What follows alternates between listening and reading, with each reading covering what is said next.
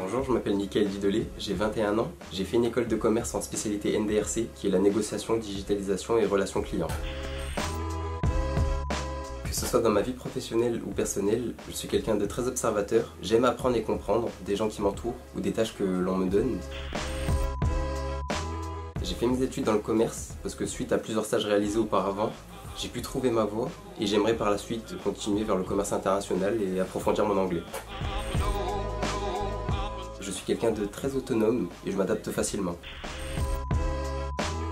J'aimerais intégrer une entreprise ayant un bon esprit d'équipe et où les tâches que l'on me confie soient variées, ce qui me permettrait d'être plus polyvalent et d'acquérir de nouvelles expériences.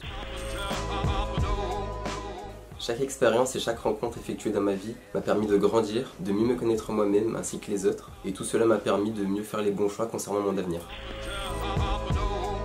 J'espère avoir retenu votre attention. Pour moi, toute expérience est bonne à prendre, n'hésitez pas à me contacter.